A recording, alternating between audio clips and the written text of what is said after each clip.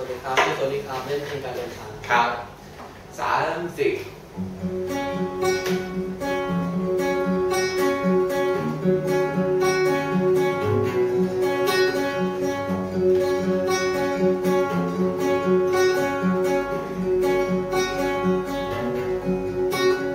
ความที่ฉันได้เขียนและที่บทเรียนที่เธอเคยเรียน ว่าที่ฉันเอ่ยไปมันที่คือลมที่เธอผ่านเจอ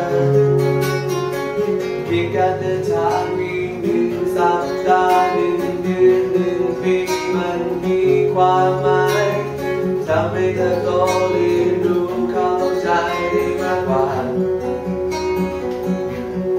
การเดินทางฉันและเธอคือการเรียนรู้การเรียนรู้เราสองคน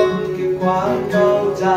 เธอเข้าใจและฉันเข้าใจที่ทำให้เรามั่นใจ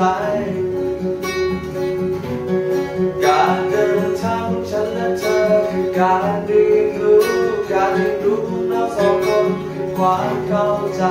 เธอเข้าใจและฉันเข้าใจก็ทำให้เรามั่นใจ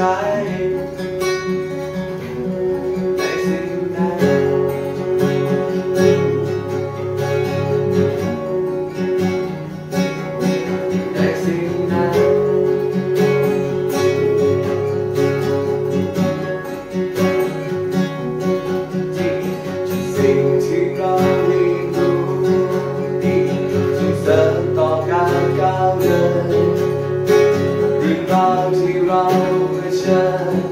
อยู่ที่เราเข้าใจ